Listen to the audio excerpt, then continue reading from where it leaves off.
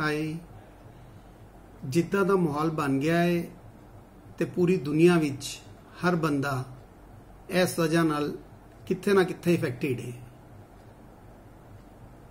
ਇਹਨੂੰ ਵੇਖਦੇ ਹੋਏ ਅੱਜ ਮੈਂ ਰੱਬ ਨੂੰ ਅਰਦਾਸ ਕੀਤੀ ਕਿ ਸਭ ਕੁਝ ਠੀਕ ਹੋ ਜਾਏ, ਪਹਿਲੇ ਵਰਗਾ ਹੋ ਜਾਏ।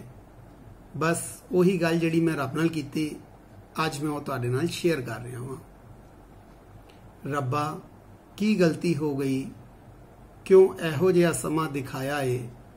ਸੁਨੇ ਸਭ ਗਲੀਆਂ ਬਾਜ਼ਾਰ ਬੰਦ ਹੋਏ ਤੁਹਾਡੇ ਮੰਦਰਾਂ ਦੇ ਵੀ ਦਵਾਰ ਚਾਰੋਂ ਹੋਰ ਡਰ ਜਿਹਾ ਛਾਇਆ ਏ, ਬੰਦਾ ਬੰਦੇ ਕੋਲੋਂ ਘਬਰਾਇਆ ਏ। ਲੱਗਦਾ ਇੰਜੇ ਕਿ ਸਭ ਨੇ ਸ਼ਰਮਿੰਦਾ ਹੋ ਕੇ ਆਪਣਾ ਮੂੰਹ ਛੁਪਾਇਆ ਏ, ਦੂਰੀਆਂ ਨੂੰ ਆਪਣਾ ਸਾਥੀ ਬਣਾਇਆ ਏ।